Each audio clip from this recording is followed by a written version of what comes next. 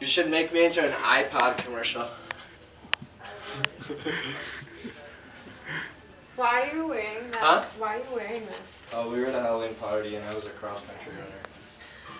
I can see it. I had shoes on and everything. I was gonna say your foot attire. Dakota, keep, keep dancing. No.